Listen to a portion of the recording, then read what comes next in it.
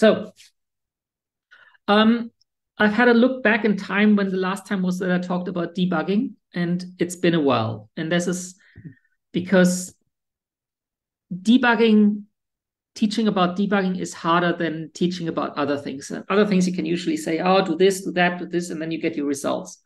But with debugging, unfortunately, there is no specific scheme X that you can just that we can just tell you to do and say do this, do this, do this, and then you will find your bug and then you go back. Instead, it's um it's a little bit more of an art form, so you have to be a little bit creative and stuff. Um, but there are certain things that help, and this is um this is this is two there are two pronged. The first thing what we're going to do is um I'm we're talking a little bit about why programs fail in the first place? What kind of error message what kind of errors happen? And how do we deal with them? And then um, there are certain tools that uh, that you can use to find out what's really going wrong. So this um, will so i'll start with the with the first part how programs fail. And basically um, the failures that I've encountered always go into one of three um, one of three uh, go wrong in one of three ways. The first one is um, the one that's most obvious. It doesn't do what it's supposed to do. So it runs, it terminates, but the output is incorrect. So for example, here I've written my super useful adder function, but when I use it, um, it's giving me the, incor the incorrect output. By the way, can you all see my, my screen well? And should I make it larger, smaller? Anything like that? Should have asked that in the beginning. No, that's, that's good. That's good. Thanks, Holger. Good. So, um, so this is uh, this is the first thing that, that that that you can that can go wrong. The second way is a crash. So um, in in Python, um, this usually will result in one of these um, error messages that Sam has talked about last week. But uh, in in other programs this will be a stack trace or a, or something like that. So a very very very visceral very direct um, error and abnormal program termination.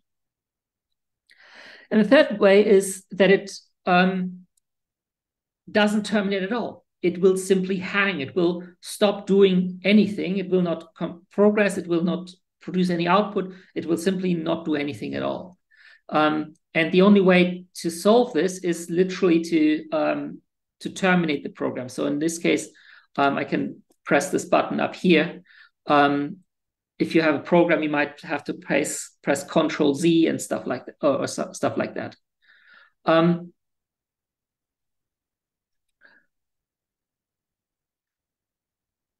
so, uh, are there any questions so far about um, about these these errors, these types of errors.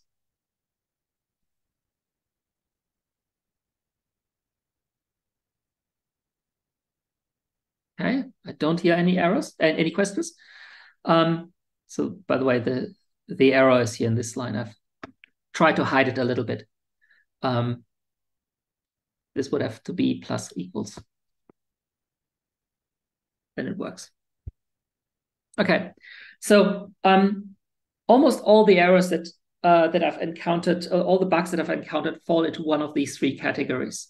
And um,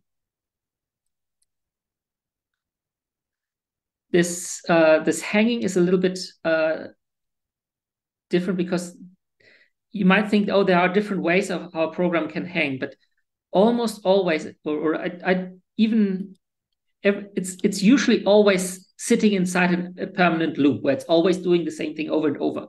And might just be that it's um that there is uh that's waiting for something to happen that doesn't happen. So where it says oh has the internet has the network given me this data but has, has there any data arrived yet? Or something like that where we will sim- simply go over and over. Now um terminology. Um, we call always call it a bug. We call it um, and, and and we call it debugging. But each bug actually consists of three distinct um, features. And um, there is a there's a book that I like really well. It's called Why Programs Fail, um, and this has a kind of that this suggests to um, distinguish between three these three different things. They call it the defect. Oops. The defect, the infection, and the failure. Um, so the defect is the actual coding error. So this is where things where where where there's a an, um, an error in the in the code, or maybe in the library, or in your hardware, or the operating system, but the code is all we have control over. Um, so if the if the if the defect is in the in a library, what we usually what we, we usually say, okay, the absence of the workaround for this um, for this defect is now our defect because we cannot we cannot control the operating system. We cannot control the hardware. If there's some bug in there we need to work around that so and and ultimately finding this defect and fixing it that is the objective of the game um, an infection is a program state that is not anticipated by the by the programmer. So when it, I'll, I'll I, I will later explain a little bit, uh, give later an example about how this goes together. But basically, uh, the program state is kind of think about it. Um, at at any point in the program, you would expect to have a certain variables to be set set to certain values, um, and um, so that all together it makes sense for this program at this point in time. And an infection is where it deviates from this. Um, and not all defects cause an infection, but all infections are caused either by a defect or by previous infections. So uh, an infection can propagate and cause other infections as well, but ultimately um, it all at, at the beginning, there was always a defect. And then finally, there's the failure. The failure is the final observable thing that goes wrong. Um, that is the fact that we know where, where, we notice something is going wrong, where the program crashes or produces incorrect results or doesn't do anything at all. So this is where we really notice what's going that that something bad happened, and um, also the failure is kind of um, the fact the fact that we want to avoid. And this is a little bit important. So um, yeah, so we have the situation where we have a defect in our code that when executing causes an infection, which might then propagate into further infections until eventually one of these infections causes a failure and we get the wrong results or we get we get uh, undesired output. And um, to, ex to explain this in an example, I have here a FizzBuzz. I don't know if you've ever heard of this. It's a very popular um, uh, coding interview question where you basically say, write me a program that um, prints a number that, that, prints numbers from 1 to 100, or in this case, 1 to 20. Um, but every time a number is divisible by 3, it should print fizz instead of the number. And then time it's divisible by 5, it should print buzz instead of the number. And if it's divisible by both, it should print fizzbuzz. And so I've created here a little function that um, takes a number and returns the, the, the, the, value. And then I'm, I'm running this here. And you can see there's the output. And um, this is all correct, except for this line here. 15 is divisible by both 5 and 3, so it, it should have it should have written fizz buzz instead of fizz. And this is this is uh, important because the defect the defect was there for all of these for all of these um, uh, these iterations, but it only really um, culminated in a in a failure in one of these situations. So um, we have to now to figure out what went wrong. We basically have to trace back um, from the failure to the original, through all the infections to the original defect. And this is the this is the tricky part because programs generally don't don't run in reverse. Um, so this is this is the tricky bit. Are there any questions about this distinction between uh, defect, uh, infection, and failure?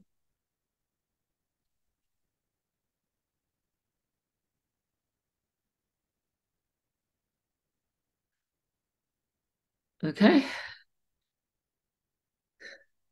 Everyone's still with me. Or did my internet go down? Yeah. Okay. So, okay, now that we've that now that we've discussed a little bit about what a bug is and how the different parts of the of the bug interact with each other, let's let's go at the tools. The first one is um, well, read the error message. Um, this goes very much into um, so here I have um, a few nested functions that basically just call one after each other. And um, Sam talked a lot about this last week, so I'm not going to rehash most of this. But if you get an error message, and Python is really is actually pretty good at with error messages, um, you can get a lot of things. Um, you, you can already get a lot of things. So we see here that uh, we tried to append to something that was an integer. Um, and uh, you can always see here where it happened um, in this thing. So again, we talked last week about it, so I'm not going to go too much detail there. But this is this is really your first your first idea. Just read the read the error message. Try to see um, if you can understand what it does, and um, and then we we go we go through this. And then the second one, the second tool, and that's also something with, that I'm sure you have used and I use regularly, simply puts print statements in there. So in this case, um, I just created these these things, uh, these functions again, because I'm very uh, creative. I'm calling them one, two, and three again. And um, I put these print statements in there. Now there's nothing wrong with these print statements. You can very easily under this it's it's very quick to do. Um, it's very easy to see how the program progresses through the different stages to see if it does something um, unexpected. Um, what I like to do at these F strings, I know if you you you would know that if you put some if you put an expression into curly braces, it will it will print out the value of the uh, the value of that expression. So if you just have n, it will just print the number. But if you put an um, an equal sign behind it, it will then um, write it down like this, where it says the expression equals and then the value of that expression. So um, should even do this. So two times n equals four. Um, so this is this is actually quite quite useful. Not not many people use it. But there's nothing there's nothing wrong with this. If you have um, a reasonably if you have a um, if you have a reasonable idea about what's going on, if you have a small pro small script, um, you this might be perfectly reasonable to just do and see what how the program progresses, and then usually you find out where something goes wrong. Um, any questions about this?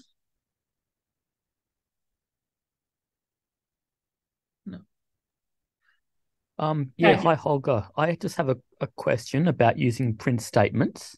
Yeah.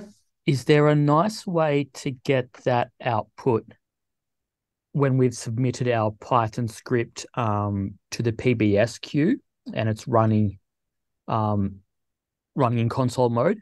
Obviously, notebooks are really um really handy to get the printed output, but yeah, what if we've submitted it as a job? When you submit it as a job, um, it should get into the into the O file.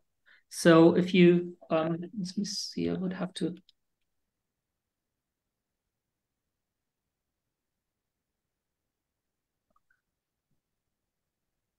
All of that. Uh, user guide, Gadi user guide. PBS jobs, PBS directories explained. So we have this uh, PBS minus O, the path yep. of the job's output log. And basically everything you print in your Python script will be go will go to standard out. And with this PBS minus O this, it will redirect this output to whatever file. But usually what you do if you if you submit something, it has a default output file, which usually has is the name of your job dot O and then a number. Yep.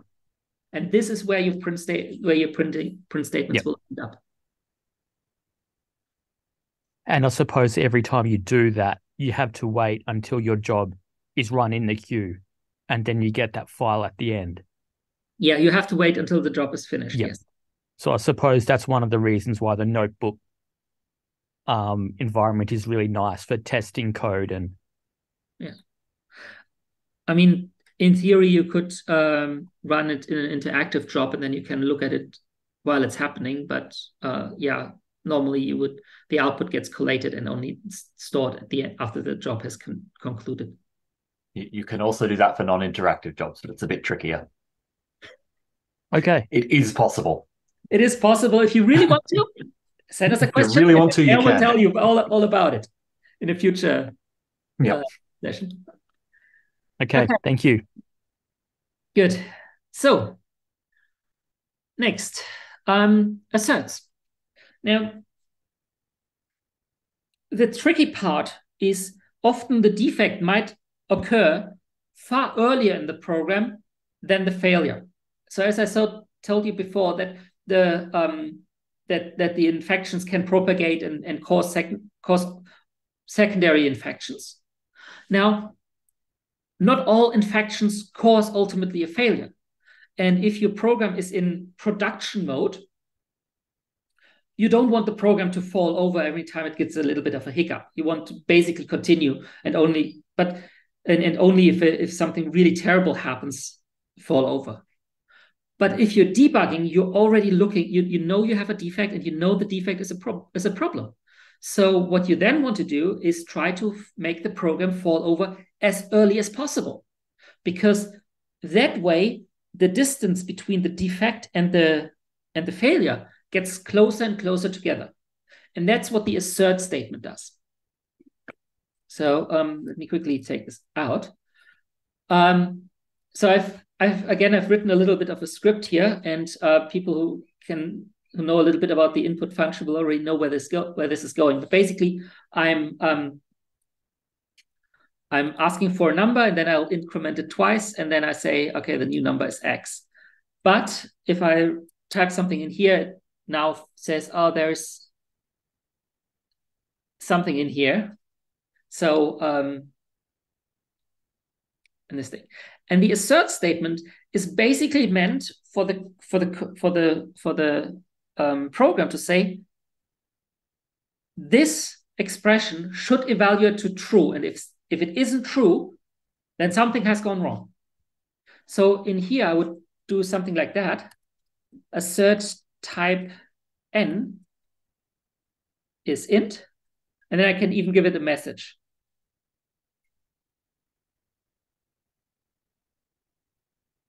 And if I do this now, you will see that it immediately fell, fell over at a at this assert and um, with this assertion error and say, okay, so this is um, this failed. Um, and so uh, it, it fell over earlier than it was before. And then I can say, ah, yeah, input of course gives me a, gives me back a string, not an int. And now it's uh, it works.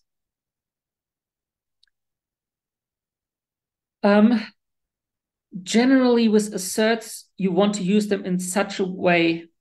Um, so that there are there are three types where you want to use an assert.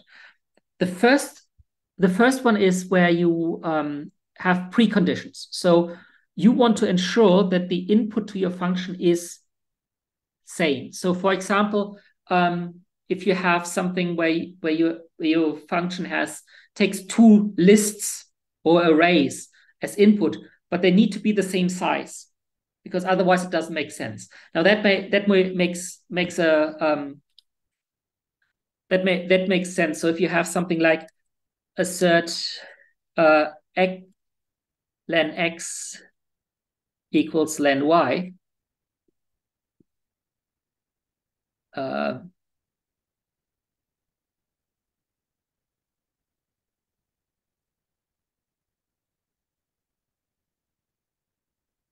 So something like that makes sense. Um, so th these are called preconditions.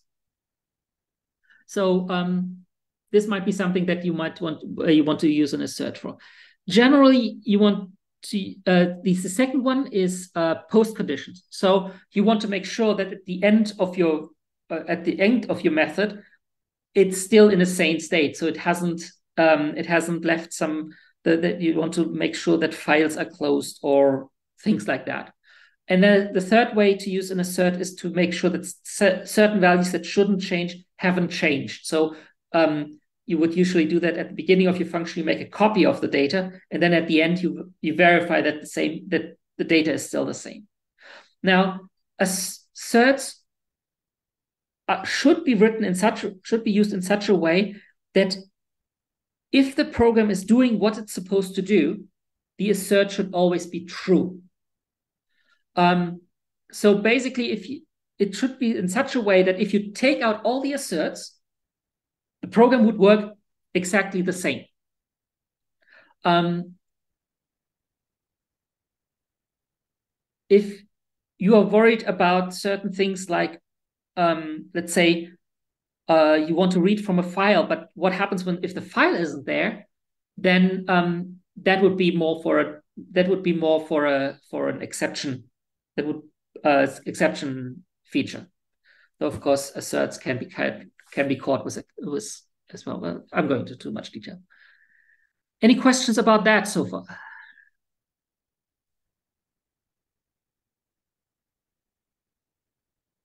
No. Okay. Um, then the next one in my list is the debugger. And the debugger is quite a complex system that basically allows you to go through your code while it's executing, stop it, inspect certain things, and gives you a lot of power. But maybe we've gone far enough for today, and maybe we'll leave that for next week. How how do you feel about that?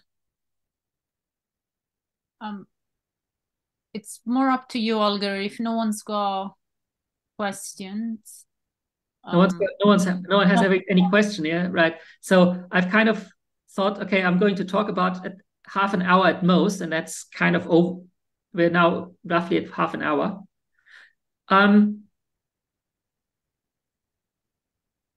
yeah, I'm.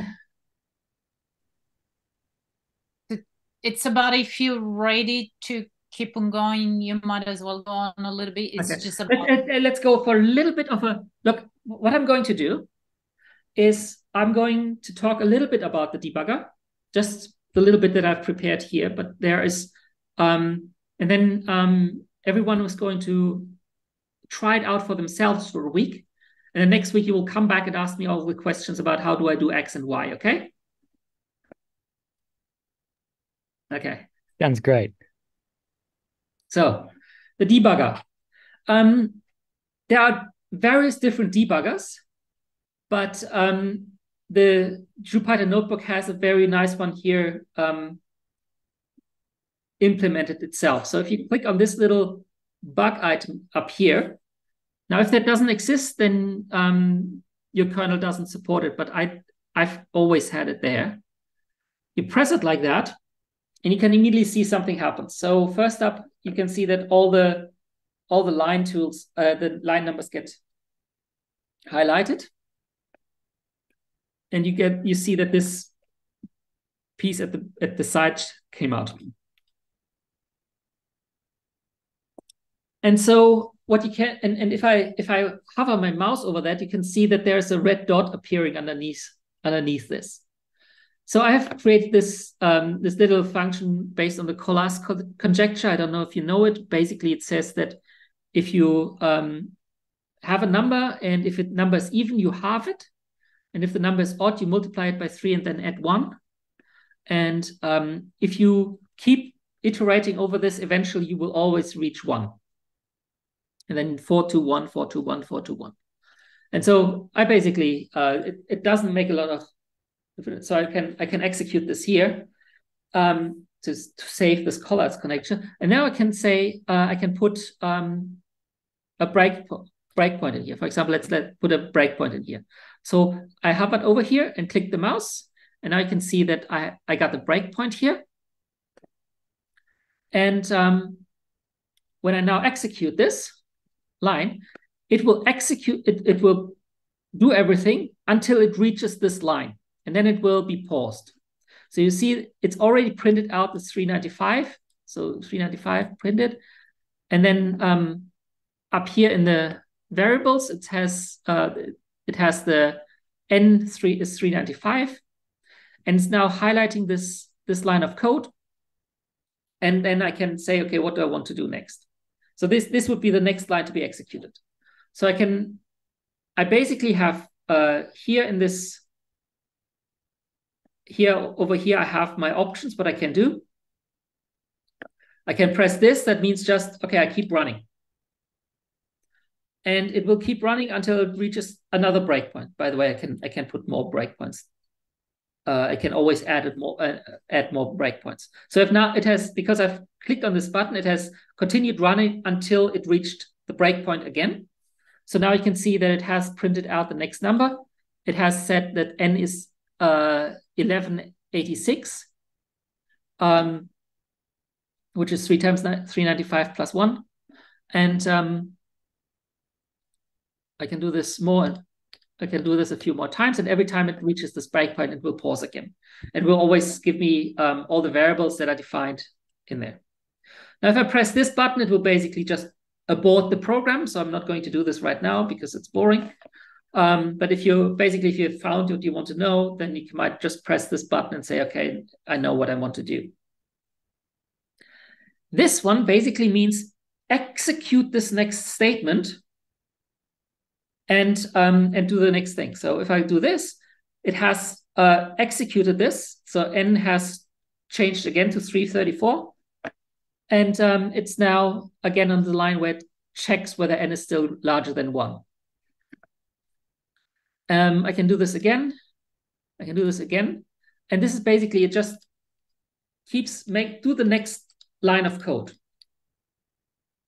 But I can also press press this. And this means if there is a call to a different function, go into this different function. So if I press this button, it now, you can see that, that it has now jumped into this, um, into this Collatz function. You can see that the call stack here has expanded. So before we just had this, now we have the we have another stack on top of that with its own variable. Well, it's it it's the same value, but the n is 251 is still is defined there. And I can I can now go in over here. So it says um and uh if if n is even um do this, otherwise this. So we'll now go to 251. And if I now go back, it, it comes back to here. So it has printed the next number and um and it checks again whether this is going. So if I go back in here, I can also say, oh no, I didn't want to go in here. I want to go back out. So this basically means continue, continue, continue this function call uh, until it's end and, and just go back to where, where you were above. So I've this, this has now concluded and um, we got the next n uh, down here. Let me go in here again sorry, in here. Um, if I want to figure out certain things, for example, I want to um, make changes. So at, at the moment, n is 377. Before I check whether this whether this is e is even, n is 377. I can also click on here and basically execute random code. I can say print n n uh, modulo two, and so it just printed um, printed this one down here. Or I can um, even modify values. I can say n is 378. Oops. Evaluate. So you can see that now n has changed to I can see that 3 n has been changed to 378. And as you can see now, if I go through here,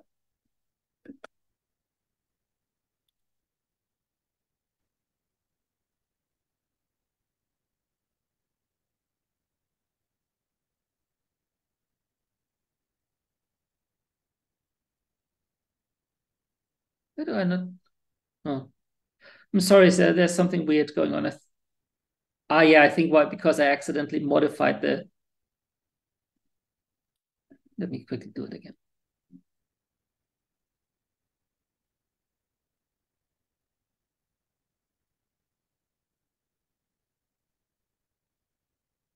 So, go in here.